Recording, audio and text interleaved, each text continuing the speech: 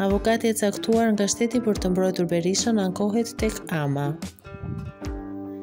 Avokatja kryesisht falas që GJKKO caktoi për Sali Berishën, Valentina Teodoresku i është drejtuar me një ankesë autoritetit të mediave audiovizive AMA. Teodoresku është ankuar për sulme që sipas saj i kanë bërë gazetarët pas dhënies së masës për Sali Berishën, madje pretendon se është kërcënuar dhe shantazhuar.